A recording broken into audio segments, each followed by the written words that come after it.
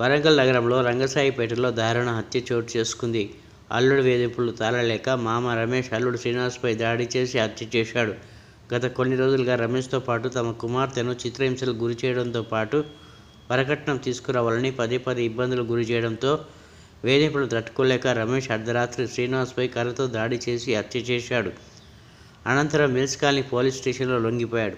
తన అల్లుడిని తానే హత్య చేసినట్లు పోలీసులకు వివరించడంతో కేసు నమోదు చేసి పోలీసులు మృతదేహాన్ని శవ పరీక్షల నిమిత్తం ఎంజీఎం మార్చేకి తరలించారు.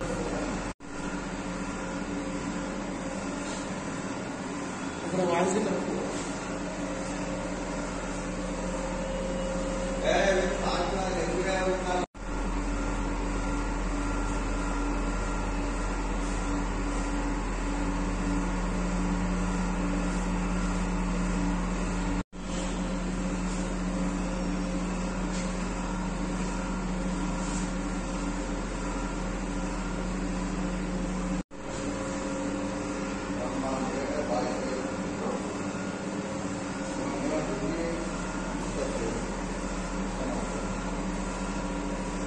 ఓ క్లాక్ చంపేసిన అని చెప్పేసి వాళ్ళ మామయ్యను వాళ్ళ బామ్మర్ది అంటే మా తమ్ముని వాళ్ళ బామ్మర్ది.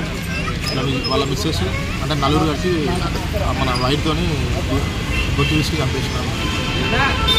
గోడ కొట్టి తల గోడ కొట్టి చంపేసినారు. పిలిపించారు వాళ్ళు పిలిపించేసి మందు తప్పించి చంపేసినారు.